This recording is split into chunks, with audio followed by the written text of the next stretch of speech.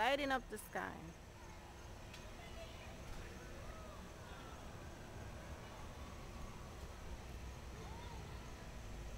There it goes.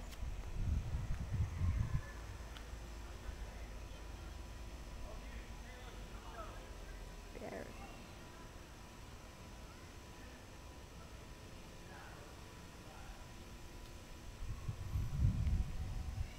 Space Shuttle Endeavour, November 14, 2008.